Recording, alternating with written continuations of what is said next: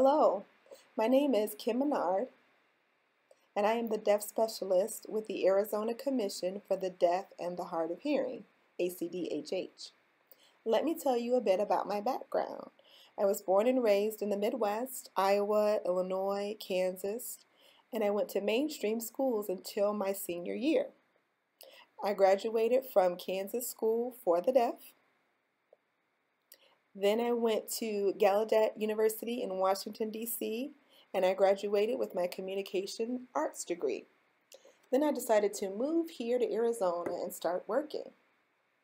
Altogether, I have over 20 years of experience working with the deaf community, working with different organizations, and providing direct service to consumers.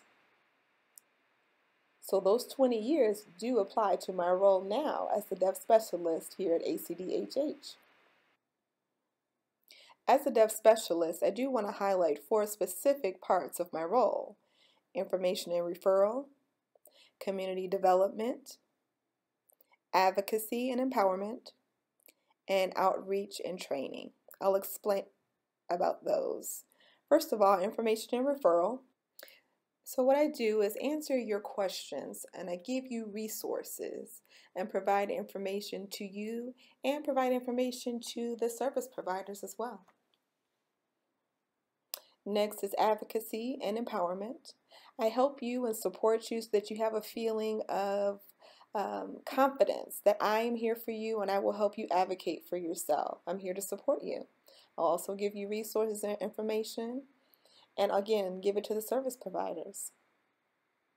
Next is community development. I look into the deaf community, see what the needs are, for example, domestic violence or mental health or interactions with the police, information about any of those may be needed. And outreach and training. I provide workshops or training related to deaf culture and the ADA. I'm really excited to be working as the deaf specialist at ACDHH. And I look forward to working with all of you.